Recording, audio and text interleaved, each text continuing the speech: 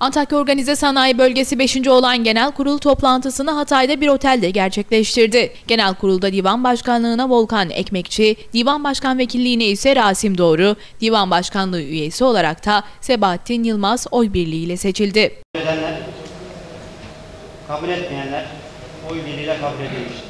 Katılımın yüksek olduğu toplantıda Bilim, Sanayi ve Teknoloji Bakanlığı'nın temsilcisi Hilmi Adnan Yüksel, Hatay Bilim ve Sanayi Teknoloji İl Müdürü Sunday Balıkoğlu, Antakya Organize Sanayi Bölgesi Yönetim Kurulu Başkanı Tahsin Kabali, Cumhuriyet Halk Partisi Defne İlçe Başkanı Mehmet Gönenç, Cumhuriyet Halk Partisi Milletvekili adayı Hilmi Yarayıcı ile çok sayıda yatırımcı bulundu.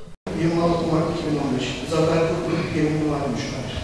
Enerji dağıtım şirketiyiz aynı zamanda. Toplantının açılış konuşmasını yapan Antakya Organize Sanayi Bölgesi Yönetim Kurulu Başkanı Tahsin Kabali, Organize Sanayi Bölgesi'nin yıllardan beri süre gelen borçlu yapısının tamamen bitirilmiş olmasıdır. Antakya Sanayi Bölgesi 2017'ye kadar borçların tamamını erken kapatarak Türkiye'de sorunsuz ender organize sanayi bölgelerinden bir tanesine dönüşmüştür diye konuştu. OSB yatırımcılarına en büyük hizmeti sunduğumuz projelerden bir tanesi de kendi bünyemizde kurmuş olduğumuz ve Türkiye'de çok az sayıda organize sanayi bölgesinde bulunan ortak sağlık güvenlik birimini siz değerli yatırımcılarımızın hizmetine bedelsiz sunmuş olmamızdır. Hatay Bilim, Sanayi ve Teknoloji İl Müdürü Sunday Balıkoğlu ve Cumhuriyet Halk Partisi Milletvekili adayı Hilmi Yarayıcı ise yaptıkları kısa konuşmalarda Hatay sorunlarından bahsetti. İlimizin en önemli sorularından biri arkadaşlar yer sorunu, yatırımcıya yer sorunu.